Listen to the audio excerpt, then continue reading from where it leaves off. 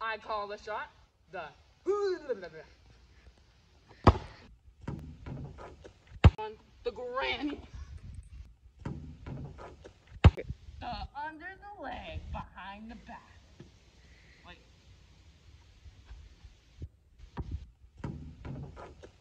Over the basketball hoop.